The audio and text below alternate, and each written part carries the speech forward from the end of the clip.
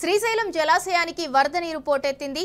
జూరాల సుంకేసుల జలాశయాల నుండి భారీగా వరద కొనసాగుతుంది. దీంతో అధికారులు ప్రాజెక్టు పది గేట్లు పది అడుగుల మేర ఎత్తి రెండు లక్షల డెబ్బై తొమ్మిది వేల మూడు వందల డెబ్బై క్యూసెక్కుల నీరు దిగువనున్న నాగార్జున సాగర్కు విడుదల చేశారు.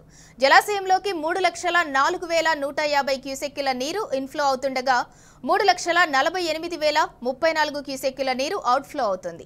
ప్రాజెక్టు పూర్తి స్థాయి నీటి మట్టం ఎనిమిది వందల ఎనభై ఐదు అడుగులు ఉండగా ప్రస్తుత నీటి మట్టం ఎనిమిది వందల ఎనభై నాలుగు పాయింట్ ఏడు సున్నా అడుగులకు చేరింది. జలాశయం పూర్తి స్థాయి నీటి నిల్వ సామర్థ్యం రెండు వందల పదిహేను పాయింట్ ఎనిమిది టీఎంసీలకు గాను ప్రస్తుత నీటి నిల్వ సామర్థ్యం రెండు వందల పదమూడు పాయింట్ ఎనిమిది టీఎంసీలు ఉంది.